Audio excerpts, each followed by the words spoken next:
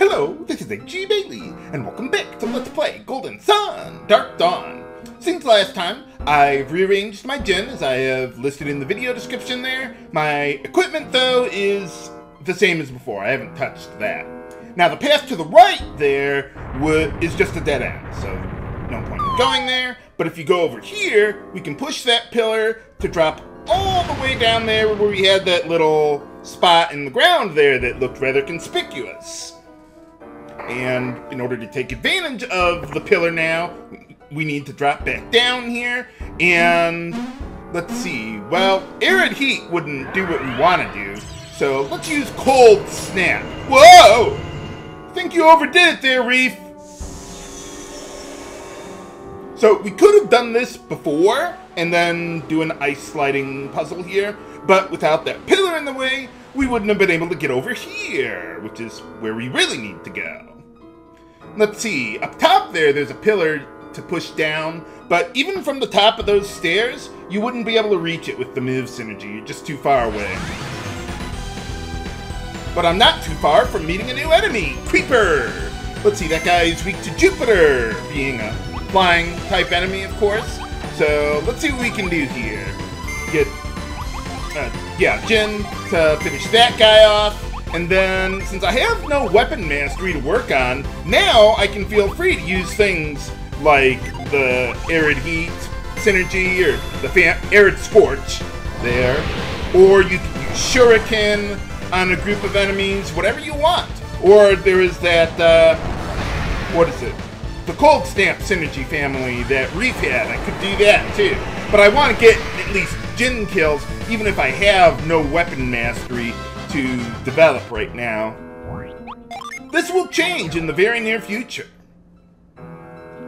Okay, so, another ice sliding puzzle. I'm not exactly sure how freezing the area below freezes the area up here, but okay.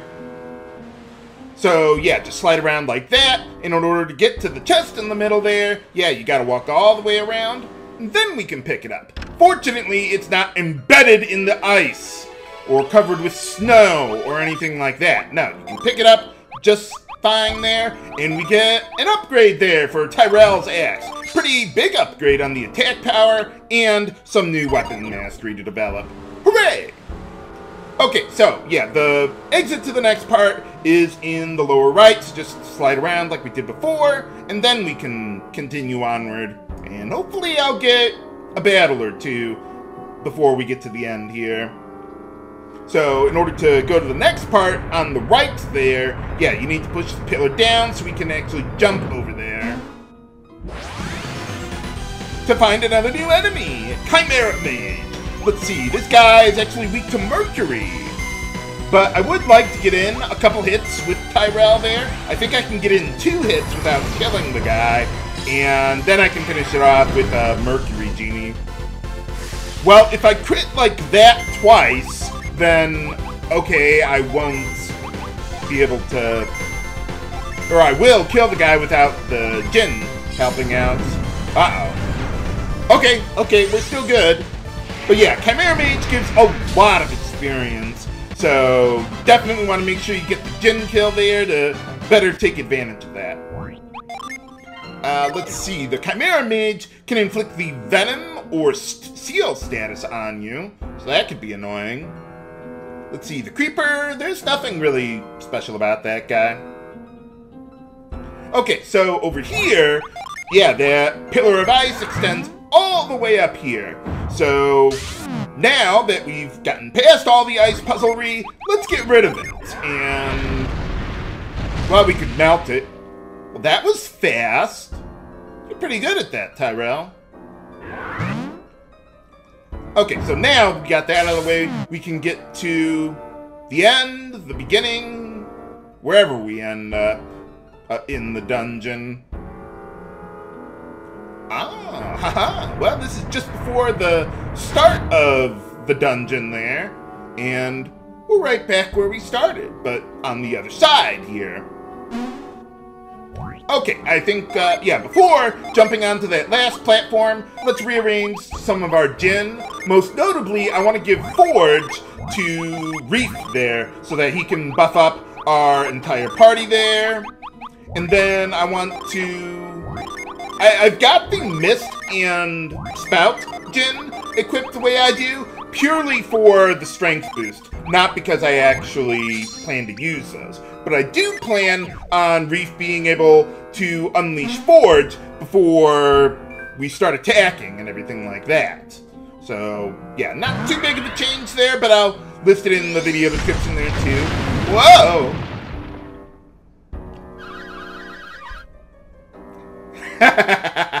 what do you mean an insane maze? This is nothing compared to, like, Air's Rock. Holy cow, that was a big dungeon. And there are bigger dungeons, way bigger dungeons in this game.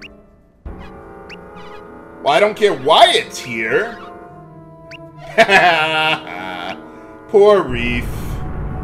You're the butt of every joke. For boss time against Sludge. Uh, I don't know what's going on with that, but okay. So let's see. Sludge is accompanied by various skulls. There, I could use Shuriken on all of them, but I really want to take out the Haunt Skull because it can hit or it can inflict well, what status do you think it can inflict on you? If you say poison, I'm gonna hit you. Now, it can inflict the haunt status, and the only way I have of dealing with that is with the Dewdrop Djinni. So, in the, the haunt skull has quite a bit of HP. So, I want to use Death Plunge, because it's weak to Jupiter. All of the enemies in this battle are weak to Jupiter there.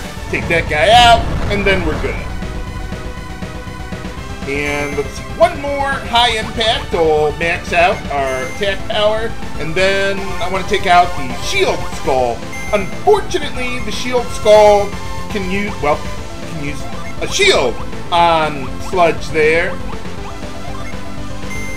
And it has priority or initiative in battle, so I can't get in my hits on Sludge before it does that.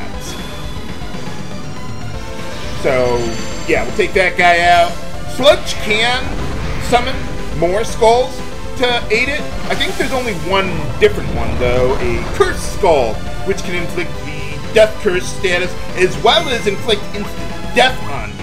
Fortunately, I have Matthew and Rief with the Revive Psynergy, so if anyone dies, I can use that. I don't have to use the more fickle Cinder or Jolt Djinn to get the job done. Yeah, I love the animation for Death Plunge there. Not as impressive as suplexing the train that is barreling down on you, but still pretty good. Okay, so yeah, we gotta take that guy out there. Nice thing about Shuriken is that it's a multiplier Psynergy based on your physical attack stat. And since everything here is weak to Jupiter, we can further take advantage of that. So Shuriken is something I like to have Matthew do in random battles if I'm just trying to soften up enemies and I don't have any weapon mastery to develop at the time. Though Arid Scorch is certainly more powerful, unless they are weak to Jupiter. Okay, so I think we almost got the guy. Let me see what my agility's like. Yeah, I don't have the agility with... I was thinking about maybe getting one more hit in there with Tyrell there, but I can't guarantee that he'll act before anyone else. So I'll just go with my Jupiter, unleashing the Jupiter Djinn and calling it a day. Yeah, part of how I arranged my Djinn for Rief there was so that he could have access to both single targeting and multi-targeting healing, as well as the revive Psynergy there. But alright, got him. Yeah, look at that experience! We're getting like two levels per character. Holy cow! I would have brought in Amiti to partake in that experience, but Rief needed it more, and I'm gonna bring in Amiti very soon because we're gonna get another weapon for him before Karis or uh, Rief there. We were just fighting it a moment ago. Well, I thought that was the dream, and, well, it was here, too, I guess. Hiding inside a mound of dirt there where the hole was? I don't know. Oh, good for the tree. Oh, water? You mean just like ordinary water, or... Oh, you're welcome. Good for you.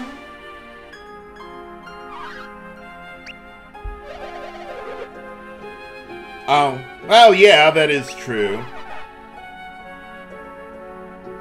Maybe they'll give us a discount on the shops.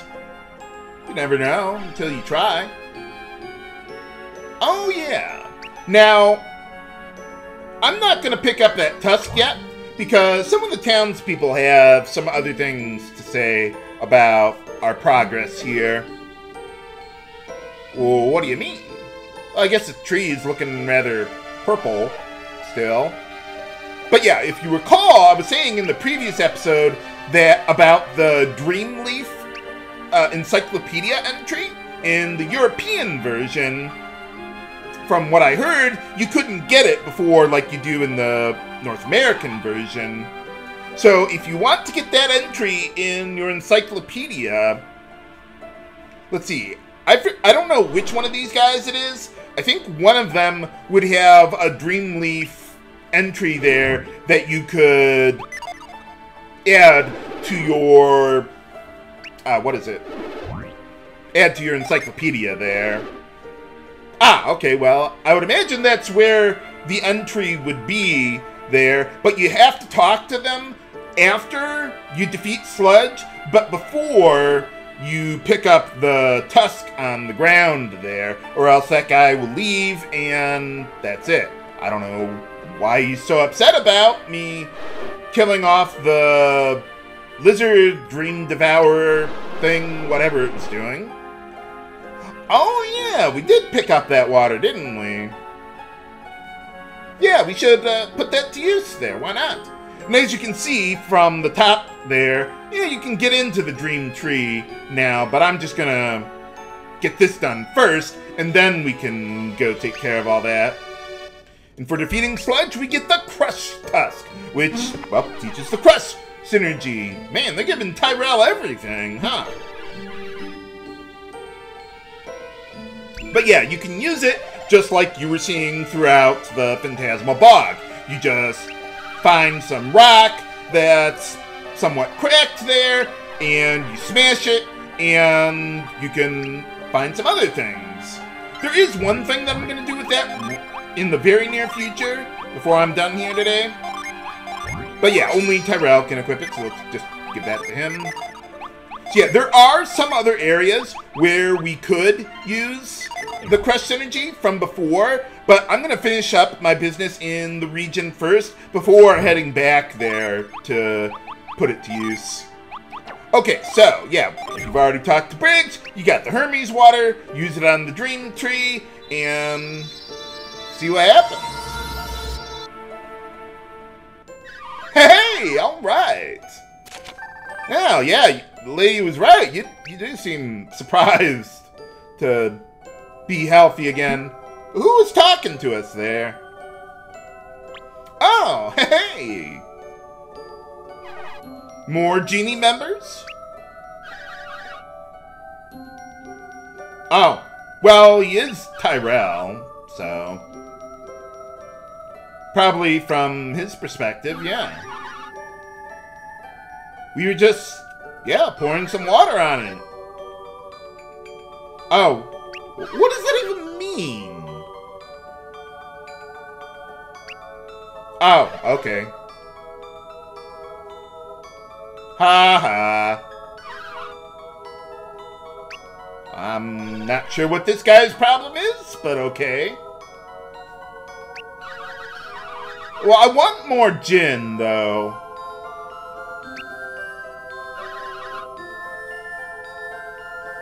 Oh, you're welcome. Thanks. We're good now. Oh, yeah. The other, uh, elder tree in the Kolima forest there, along with Tret.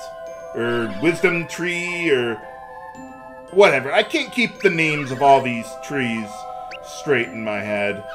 a lot of big trees around here. It's a forest. What did you expect? Oh, okay, yeah. We still got some things to wrap up here first, but yeah. Well, evidently... Why don't you look up your encyclopedia?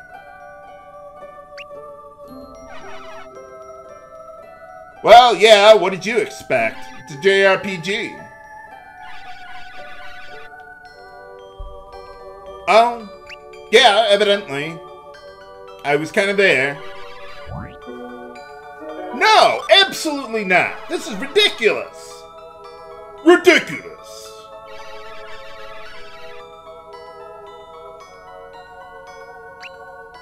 Oh, yeah, sure. Why not? We were gonna be heading in that area anyway, so we might as well. Apparently Matthew really can be talked into anything, huh? Alright.